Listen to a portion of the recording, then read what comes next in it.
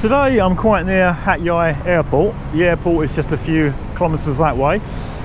In the opposite direction is where you go to get to downtown Hat Yai. And just down this way at this three-way intersection is the Air Force Base. I haven't covered this part of Hat Yai in any of my previous videos, but I thought I'd do a quick update today because it's an area that has undergone massive change in the last 20 years. It's unrecognisable to how it was 20 years ago. When I first got to Hat Yai in 2003, I used to go to the airport fairly regularly. My brother was down in Singapore, so I go to visit him or I go up to Bangkok. And there's an intersection in Hat Yai called Ta Kien, and once you went past that, there was nothing. It was just a, a wasteland. There were no streetlights, there was a very bad road, there were very few people living here. That is definitely not the case now. There's been a, a huge amount of development in the last 20 years. A couple of years ago, there was a project to upgrade this road. It took a couple of years, it was very inconvenient, and now it's finished. I'm not sure if it was a, a good thing or a bad thing. It's nice to have a high quality road, but it just allows Thais to drive even faster than they usually do. They, they drive along this road at insane speeds. There are always accidents. The daughter of the foreman of my housing development was killed a few years ago. I heard the crash. I, I was um, at a swimming pool at the time supervising my kids near the road and I heard this huge crash and she died. And just this morning I went to get my daughter some breakfast near here and there was another big accident. There are always accidents here and there are no deterrents. There are no speed cameras. There are never any police looking out for speeding and reckless drivers and even the, the traffic ahead doesn't deter them. They just weave in and out of three lanes at very, very high speed. It's quite frightening to see what goes on. In this area previously, there was nothing. Now there's a, a big international school and whereas before there were no hotels at all, there were just a few seedy sort of guest houses you could stay at, there are now several hotels. So let's go a bit further along the road and take a look. In the past, if you wanted to drive to Hat Yai Airport and leave your car, there was only the airport car park. A few years ago, lots of these parking businesses suddenly sprung up. I don't know how many there are, but it's probably in excess of a dozen. So you drive into one of these places, leave your car, they take you to the airport, which isn't far away. And when you come back, you just give them a call. They come and pick you up at the airport and take you back to the, your car. It works really well and not too expensive. The fee is well under 100 baht per day. I've used the service several times and my, my wife just went to Bangkok at the weekends and used one of these services. They're really good. And it's nothing like the, the UK where there's a phenomenal charge for car parking. You know, it's normally 60, 70, 80 baht. It's very, very reasonable. On the main airport road from Hat Yai, there never used to be any petrol stations. Now there's Nesso petrol station and also a huge Porto Tor with restaurants. And there never used to be any hotels either. And in that section of the road, you, you'll find the Nutchana Hills Hotel, which is a nice place. And this one, the Southern Airport Hotel, is the first hotel in, in the area near to the airport. And it's really nice and they've, they've got a nice outdoor swimming pool in a garden setting. And even though some of the hotels in central Hat Yai have swimming pools there's nothing quite like this. It's a really nice place and I, I sometimes bring my kids here to go swimming. So let's have a, a quick look here's the hotel restaurant. And just outside is the swimming pool which is very pleasant. I just had a quick chat with the um, reception staff, and they told me that the rooms upstairs, it's like two stories, so the rooms upstairs are cheaper, they're 1,800, and downstairs we've got sort of immediate access to the swimming pool, they're 2,400. Sounds a bit expensive, but normally um, the highest rates are walk-in rack rates and it's generally a lot cheaper to book online, which is what I always try to do. Yeah, it's very very nice swimming pool, and um, you, you, can use it if you're not a guest. I, I, bring my my kids here, and a lot of other people bring their kids here, and uh, on some days it's really busy. So as I said, you know, hotel, some hotels in central Hat Yai have got swimming pools, but nothing like this. It's a very nice setting. This is the Southern Airport Hotel. And previously, if you, if you came in as a, a, a non-resident, wanted to use the swimming pool, it was 60 baht. And then it went up to 80. I'm not sure if it's gone up again. Ask โคโซครับถ้าเอ่อไม่ไม่พักที่นี่อยากอยากใช้สระว่ายน้ำกี่กี่บาทครับ 80 บาทค่ะ 80 okay ขอบขอบคุณครับ yeah so the um, the fee for outside people ขอบคุณครับ to use the swimming pool is still 80 baht it's not bad actually there are cafes and restaurants as well this place Khao Tom which is boiled rice Mud Kum Tong. Now, I've never been here, so I don't, don't know anything about it, but the place opposite, Coffee Craft, we go to quite often. Good food, uh, they do a breakfast, and the coffee is really good.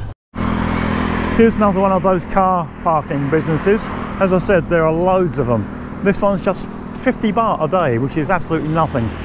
If you go to Heathrow or Gatwick Airport in the UK, it's probably going to be 50 pounds or something a day. I'm not sure these days, but I, I, know that all prices in the UK are extortionate.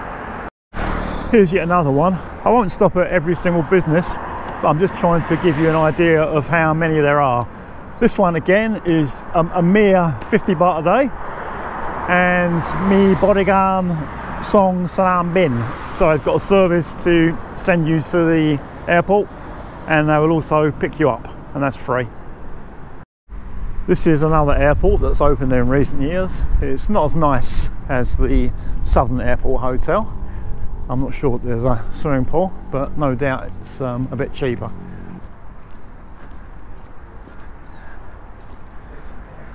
Ah. Swaddy? Hong Kun 499ค่ะ499เอ่อมีมีห้องกี่กี่แบบครับ Just ถ้าคนเดียวเหรอคะคนจะเดียวแบบเดียวค่ะโอเคถ้าถ้ามามากับครอบครอบครัว มีห้องใหญ่กว่าไหมห้องครอบครัวมีแต่ราคาพันสามห้าพันสามใช่1,300บาทลูกค้าดูห้องก่อนไหมครับห้องเขาชื่อหนึ่งพัน1,300บาทหนึ่งพันสามร้อยใช่พักสี่สี่คนใช่ค่ะอันคนเดียว499 499ใช่ค่ะ โอเคสี่เก้าเก้าหนึ่งพันสามสามร้อยโอเคไม่ไม่ไม่ต้องดูครับ โอเค เขาเขาเขาขอบคุณมากครับ โอเค ครับ Okay, so my memory is getting terrible. I can can't remember what people just told me. So it's um, a single room, just 499 baht. And if you come with a family, you want to sleep four people, 1,300. So yeah, it's not not as nice as the other hotel, but a lot cheaper. I only really come to this area when I'm going to the airport, and whenever I do come to this area, there's something new. And last time I was here, I can't remember seeing this. There's a, a huge building just being constructed. Not sure what it's going to be. Maybe a hotel, maybe something else. Time will tell. And this land here is for sale. Sign here, Kai, sell. Tidin, Raka Piset. So it's land sold at a special price.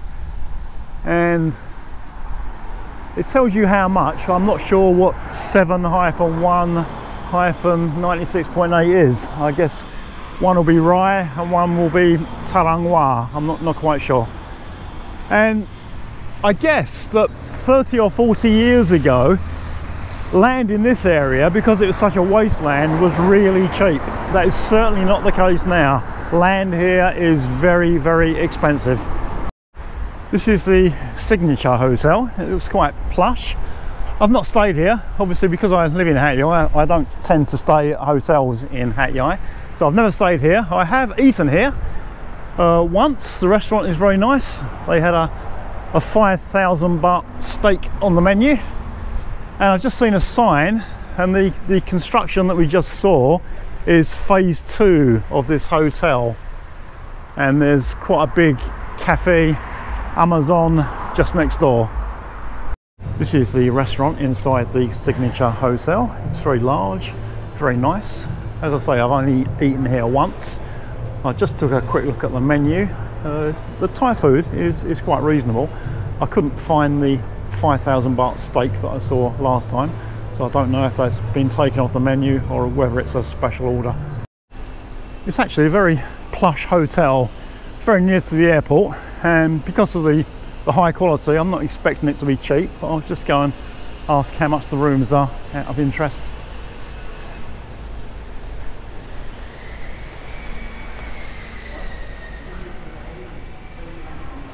Hotel Club, Hong Kuk Club. ใช่ อันนี้มันจะ ผมมีรายการ เยียใช่ใช่ค่ะ โอเค This is เอออันนี้จันทร์ถึงพฤหัสนะคะ แล้วก็ศุกร์เสาร์อาทิตย์ค่ะ โอเค ราคาตามนี้เลย Okay, crop, cocktail crab. Okay, so there's two prices. There's one one price for Monday to Thursday, and another price, a higher price from Friday to Sunday. So it goes from like midweek, the cheapest room, 1,850, and the most expensive room at the weekend, 4,500. It's still, it's still not bad, I guess, you know, compared to um, Bangkok. And uh, once again, this is probably the most expensive way to book the hotel by just walking in. You, you can no doubt find better deals online. The hotel also owns a couple of vintage vehicles. Here's an old fire truck, and I just passed an old pickup truck. So that was the Signature Hotel near Hat Yai Airport. If you have a need to stay very close to the airport and you want to stay in a very comfortable hotel, this is the perfect place. Just outside the airport, in addition to the car parking businesses, there are also car rental places. And you can even rent an electric car if you want. And inside the airport, there are several desks where you can rent cars from the, the big car rental companies. So today I'm not going to go inside the airport. You can see the entrance just up there where that yellow gate is. When I went to Bangkok last year, I did a video and part of that video was the inside of Hat Yai Airport. There's not much to see, it's just the same as any other airport. It was upgraded a few years ago, so it's a lot bigger now than it used to be. I'm just going to go back to where I started on the other side of the road and point out a few things that might interest people. And as I said, the development around this area has, has been phenomenal in the last few years. And every time I come here, I see something new. And the last time I was here, I saw this brand new 7 Eleven that didn't used to be here. This is yet another hotel that's only appeared fairly recently. And outside, they're offering transfers to Lipe Island. A lot of people who want to visit Lipe Island, which is supposed to be very nice, I haven't been there yet, flying to Hat Yai, and then they want the convenient way to get there from the airport. So this place is doing trips, 951 way, 1800 return, and it's rot, so it's the uh, the bus or van plus Rua plus the boat to Lipe Let's just go and find out how much they want in this hotel. สวัสดีครับ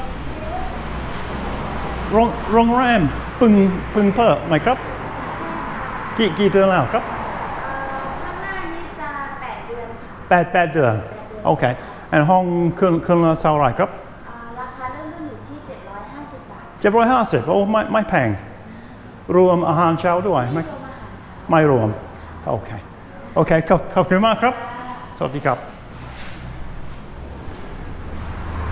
Okay, so it's been open eight months and uh, rooms are 750 but no breakfast.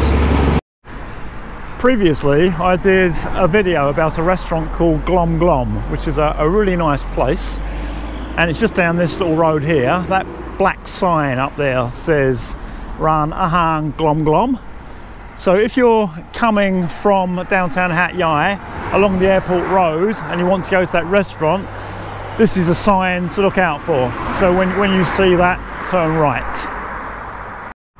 The big sign here in orange says Ran Ahan Donya, which is another restaurant called the Donya. So let's go and have a quick look. I've been coming here to eat and buying takeaway food for about 14 years. And over the years, I've got to know the owner quite well. Whenever we go in, he always comes over for a chat. I believe he's ex Air Force and uh, he's spent a huge amount of money on this place. There's been a, a, lot of upgrades and it's a lot bigger now than it used to be. The food is good and the service is very good. Uh, as a result, the prices did go up and then it became very quiet. It used to be very popular, then it went very quiet. And judging by how busy Glom Glom is these days and how quiet this place is, I think a lot of the old Donya customers started going to Glom Glom, which is a bit of a shame, but this is still a very nice place. I mentioned renting electric cars, and this place here just seems to rent electric cars. So the sign up here, Ro is vehicle, Chow to rent, Pfeiffer is electric. And they've got the, I think solely these Neta cars and prices. Okay, so Mung, Mung uh, one day 1000 baht. Uh, Sam one Kumbai, so more, more than three days, it's 900 baht. And Mung Sapada Kunbai, so more, more than one week, it's 800 baht a day. So the, the longer you rent the car, the cheaper it becomes per day. And with all this development around the airport, there's also new house construction. There are also some old developments around this area, old Mubans as they're called, that have been here years, but they're also building a number of new developments. So here, it looks like three house types. They've got like a, a bungalow, single story bungalow, then a two story semi-detached house, and a detached house. And Rum Don means starting from. So the bungalows start from 2.89 million baht. The semi-detached from 2.99 million baht. And the detached houses start from 4.19 million baht. And yeah, they look quite good. So uh, because the last video I did about new houses was quite popular, I think I'll just have a quick mooch around this uh, development to see what's happening. This development is called Tinagon Village uh, it's quite big, quite a few houses. Some are still under construction and some look as if they're finished. I'm not sure if there's a, a show home. If there is, I might be able to take a look around. And one of the nice things, that the sign is on the main road, but to get here, you have to come about um, half a kilometre. So it's far enough away from the main road not to be noisy. because It's a very busy road and it gets very noisy. Yeah, it's quite nice. The road is quite wide. These are the semi-detached two-storey houses and a bit further on I can see the single-storey bungalows. The, the houses look to be almost finished but there's no sign of anyone actually living here yet. And um, I'm not sure if there is a show home. If there is, um, I'll stop and ask for a look around. If there's not, I'm just going to end the video. These are the detached houses. There's a little grassy area here in the middle. And it looks as if just one of those bungalows is occupied. There are curtains up at the windows and there are boxes outside where TVs have been delivered. But um, the guy who lives there is going to be quite lonely at the moment with no neighbours at all. So just, just one house occupied. This area around Hat Yai Airport is really booming these days. 20 years ago, you'd only come here if you wanted to go to the airport, but nowadays lots of people want to be here. The downtown area is full and there are flooding problems, although those problems have got a lot better in recent years. In this area, there's still lots of vacant land, and because it's on high ground, there aren't so many flooding problems. I hope at least you found some of that useful. Thanks for watching.